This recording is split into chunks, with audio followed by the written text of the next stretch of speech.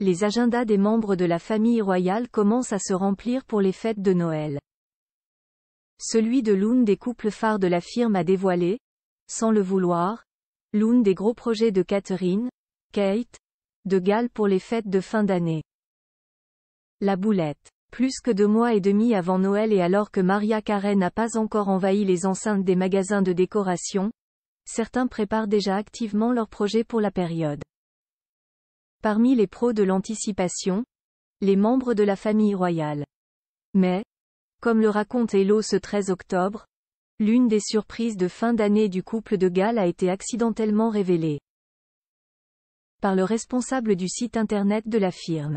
Dans la section agenda du duc et de la duchesse de Gloucester, membres actifs de la monarchie, il y est écrit à la date du 8 décembre 2023 que le couple assistera à un service de Noël organisé par la princesse de Galles à Westminster Abbey, Londres.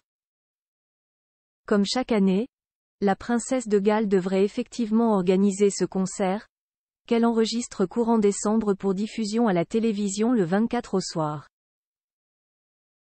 Mais rien n'avait encore été dévoilé et cette information glissée dans l'agenda a quelque peu gâché la surprise de la date photo Kate Middleton.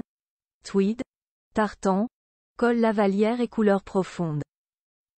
C'est plus beau look d'automnel Prince Louis au concert de Noël? L'une des questions qui restera sans doute sans réponse avant le jour J permet encore de belles semaines de suspense avant le jour du concert. Le petit Louis assistera-t-il à l'événement? Le jeune fils du prince William et de Kate n'a pas assisté aux deux précédentes éditions, jugé bien trop petit pour rester tranquille. Cependant, désormais âgé de 5 ans et demi et ayant passé l'épreuve du feu au couronnement du roi Charles III, il devrait pouvoir gagner le droit de chanter en chœur avec toute sa famille.